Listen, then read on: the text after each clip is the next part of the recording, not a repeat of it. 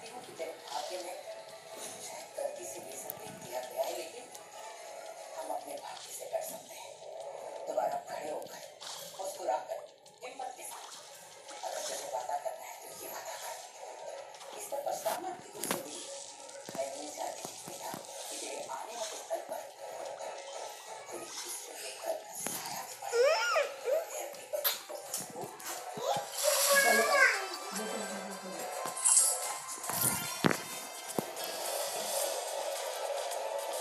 想。